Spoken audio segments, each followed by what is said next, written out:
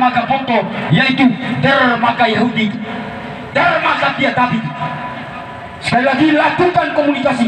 Minta kepada pihak Kapolres Bima Kota untuk melakukan garis lain yaitu garis polisi, garis pembatas bahwa dermaga itu adalah dermaga yang melanggar negara Bapak Ibu sekalian.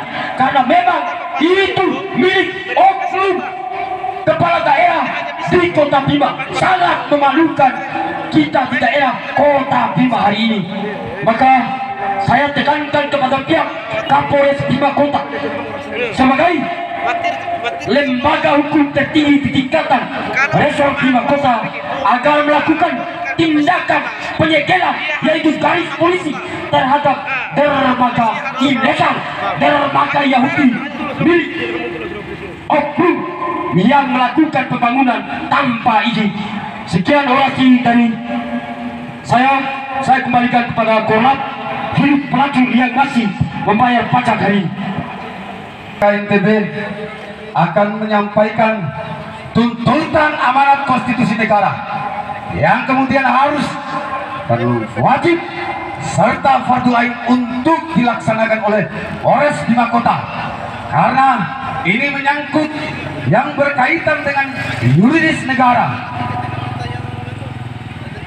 Saya minta kepada Polres Bima Kota agar berjalan lancarnya secara proses hukum segera dilakukan polis lain dalam kurung garis polisi agar pihak penyidik dan penyelidikan berjalan lancar tanpa gangguan apa pun yang yaitu pernyataan sikap kami berdasarkan konstitusi negara Republik Indonesia adalah negara yang dipayungi sepenuhnya oleh yuridis dalam kurung hukum. Bahwa mengingat dalam perkara soal dermaga Bonto diduga tidak memiliki izin sepenuhnya yang sampai saat ini belum ada kepastian kepastian supermasi hukum yang sudah di B19 oleh pihak Kapolres Bima Kota. Dan sudah diajukan berkas perkara kepada pihak Kejaksaan Negeri Bima dengan dalil menetapkan pasal 109 Undang-Undang Cipta Kerja atas perubahan pasal 109 Undang-Undang Nomor 32 Tahun 2009 tentang perlindungan dan pengelolaan lingkungan hidup.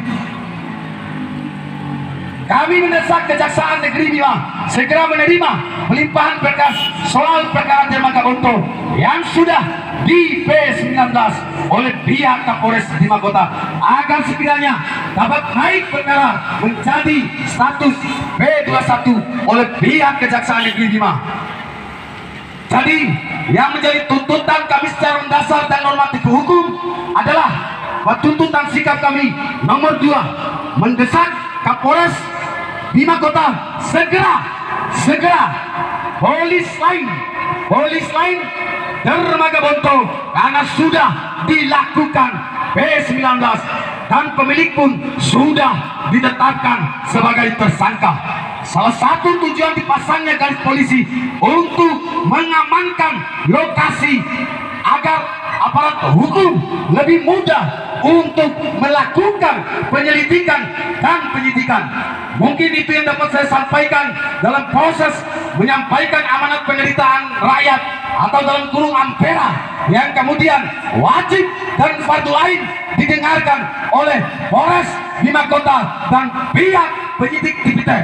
Sekian dan terima kasih. Walahul Wassalamualaikum warahmatullahi wabarakatuh. Kami adalah bahwa pihak kejaksaan tidak disertai nota untuk melakukan penambahan pasal yang kemudian tidak uh, secara langsung untuk berbicara uh, atau terbuka yang berkaitan dengan uh, kasus Dermaga Bonto.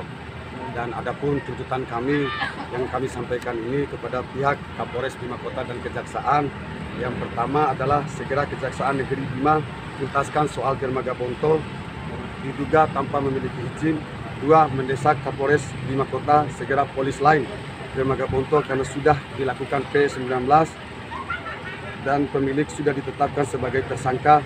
Salah satu tujuan dipasang garis polis lain untuk mengamankan lokasi agar aparat hukum lebih mudah untuk melakukan penyelidikan dan penyidikan. Tiga, tuntutan kami meminta Kejaksaan Negeri Rababima memproses kasus Dermaga Bonto seadil-adilnya dan transparansi terhadap publik supaya tidak melahirkan krisis kepercayaan oleh masyarakat Kota Bima. Empat adalah jika tuntutan sikap kami tidak diindahkan, kami meminta kepada pihak yang berwajib copot kepala Kejaksaan Negeri Rababima. kemudian itu lari